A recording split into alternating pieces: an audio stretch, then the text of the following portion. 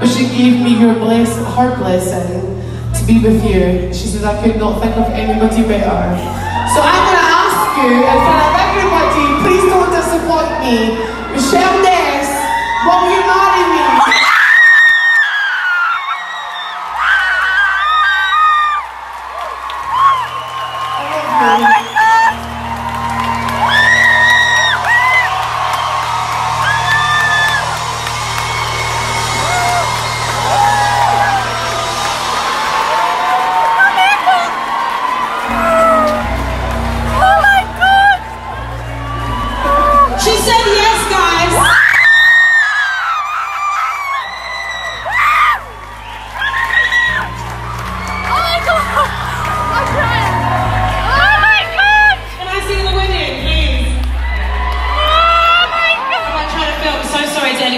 in Islam.